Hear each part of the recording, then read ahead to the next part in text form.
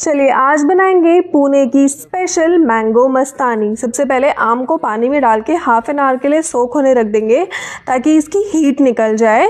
इसके बाद इसे छील के चॉप कर लेंगे और ये सारा पल्प ट्रांसफ़र कर देंगे ग्राइंडिंग जार में। इसके साथ डालेंगे चीनी। आप अपने टेस्ट के अकॉर्डिंग कम ज़्यादा कर सकते हैं या इसकी जगह हनी का भी यूज़ कर सकते हैं। इसके साथ डाल रही हूँ मैं आइसक्रीम इसे भी कम ज़्यादा डाल सकते हैं। साथ में थोड़ा सा दूध डालेंगे और इसका एक बिल्कुल फाइन सा पल्प रेडी कर लेंगे। तो हमारा यहाँ थिक सा मैंगो शेक रेडी है।